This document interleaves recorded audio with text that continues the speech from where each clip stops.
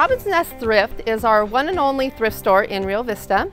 We are very eclectic. You can get something from 25 cents all the way up to antiques. In general, we host estate sales and we buy out estates, mostly from local residents. From beginning to end, we come out your house, have a two-day sale. We take care of all the pricing, advertising, setup, takedown, and your house will be ready for your next venture once we're done. We do take donations Tuesdays, Wednesdays, and Thursdays. We do not take donations on the weekends. We do have some guidelines, one being we are a for-profit, so you cannot get a tax write-off, and we do not accept children's items, books, and clothing.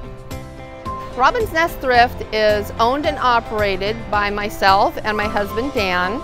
We also have my mother Sharon and our youngest daughter Mikey Rose who work for us. It is all family owned and operated since we began 10 years ago. People ask me a lot, who are you? When you come from Rio Vista, the old timers like to know what family you came from, what your family name is. My family's been here for five generations. Myself, my grandmother still lives here on both sides, and my grandfather, Sal Fisher, was mayor back in the 60s. Robin's Nest Thrift is very involved in the community.